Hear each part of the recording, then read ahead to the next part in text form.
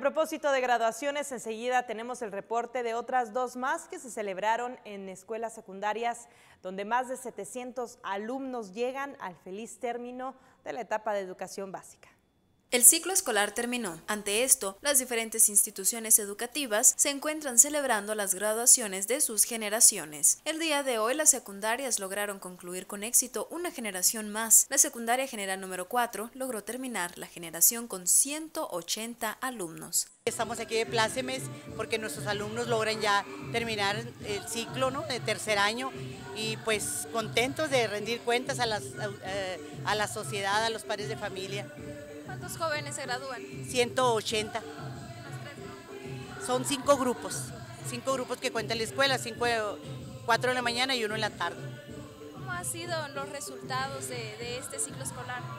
Excelente, a veces la palabra excelencia pues cuesta mucho decirlo, ¿verdad? pero mis, mis niños, eh, mis alumnos, como yo los menciono a veces, que son mis niños y mis niñas, porque están, son parte de nosotros, los tenemos por tres años, nos apropiamos de ellos en todas las características y ahorita pues es el momento que los padres se den cuenta que, el trabajo que elaboramos lo elaboramos pues con todo el amor y con todas las ganas y el profesionalismo que, que merecen sus hijos. Hicimos un reconocimiento al profesor Juventino Vázquez, que es muy conocido, el profesor tiene 55 años de servicio y sus hijos de escuela reconocen su labor porque todavía sigue con el mismo ánimo, de estar ayudando a la, a la comunidad escolar. Por otro lado, la secundaria general número uno también celebró el término de una generación que con orgullo logró concluir para ingresar a la preparatoria. Por su lado, 543 estudiantes se encontraron motivados de poder terminar. Tenemos, por suerte, estar en la 85 generación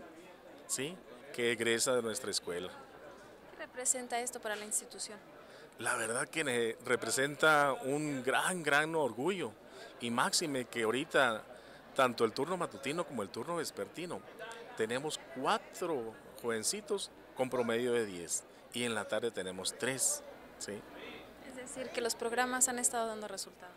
Sí, los ajustes de los programas y todo, los, este, todo lo que ha emitido la Secretaría, pues hemos estado trabajando en ellos y sí, sí, Ahorita tenemos un porcentaje de, terminación de un 84.5%.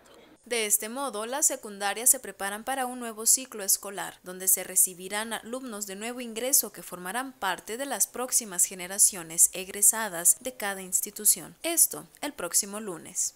Con imágenes de Fidel Soto, para el canal de las noticias, Abigail Valenzuela.